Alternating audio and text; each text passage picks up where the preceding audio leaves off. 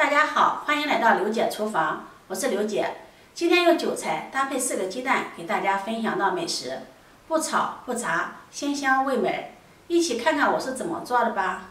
首先准备三百克的面粉，加入两克食盐，增加面粉的筋性。用筷子搅拌均匀，搅匀后从中间一分为二。一半用一百毫升刚烧开的开水和面，用开水烫面，烫掉面粉中的筋性，做出来的饼会更加的柔软。另一半用一百毫升的凉水和面，边倒边搅拌，搅拌成面絮状，然后下手揉成面团。用半烫面做饼，柔软又不失筋道，放凉了也不会硬。边揉面边用面团擦拭面盆，这样面盆上面的面粉就会粘到面团上了。面盆干净了，这也是揉面的一个小技巧。手上呢也沾一沾，把面团揉光，这样做到面光、手光、盆光，揉成一个软硬适中、光滑的面团。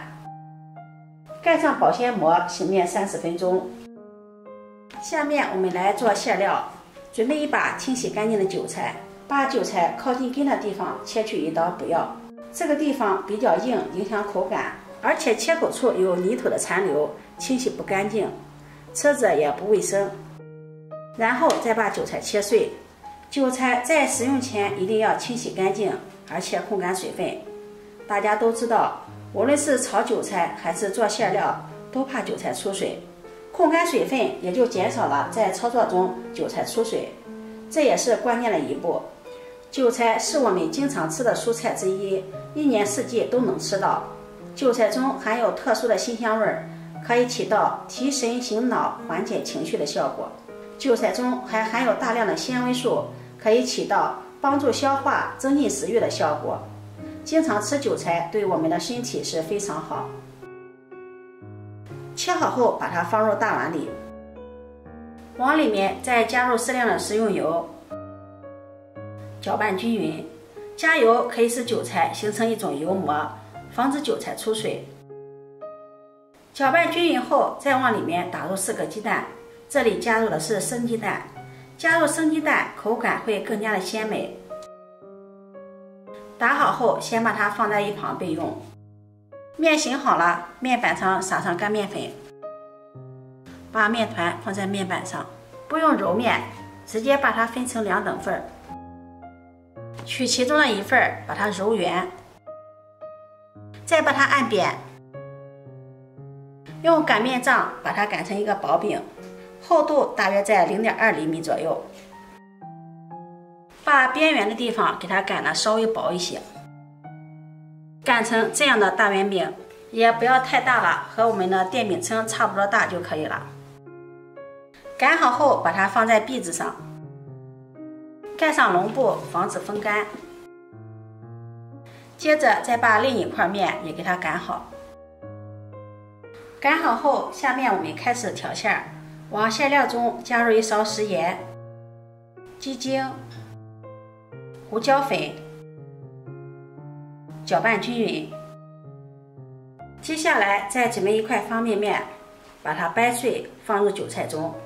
加入方便面不仅可以增香，主要是能够吸收水分。这里也可以加馓子，方便面也不用加的太多了，半块就可以了。然后搅拌均匀。搅拌均匀，我们的馅料就调好了。接下来把馅料平铺到面片上，用筷子把它摊平、摊均匀，边缘留出一厘米的地方，方便捏合。摊匀后，再盖上另一张面片，周围给它按压紧实。按压好后，再折一下，折出一个花边，这样造型更好看，也不容易露馅儿。接下来电饼铛预热，刷上食用油。油热，放入饼皮，上面也刷上一层油，锁住水分。盖上盖子，烙三分钟。三分钟后，打开盖子，再给它翻个面儿，再盖上盖子，继续烙三分钟。时间到了，打开盖子，我们翻面看一下，已经烙的两面金黄了，按压一下立马回弹，像这样饼就熟了。全程只需要六分钟。出锅，把它放在案板上，再切成小块，这样方便食用。切好后装入盘中，就可以给家人享用了。这样韭菜饼就做好了，两面金黄，里面的馅料鲜香，加入的是生鸡蛋，口感更好，更鲜美，比韭菜盒子还要好吃。做法也是非常的简单省时，再搭配上小米粥，当做早餐也是非常的营养。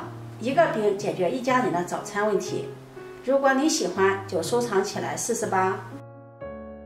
喜欢我的视频，记得点赞、关注、转发，点我头像可以看到更多美食视频。我每天都会发布不一样的视频，我们下期视频再见。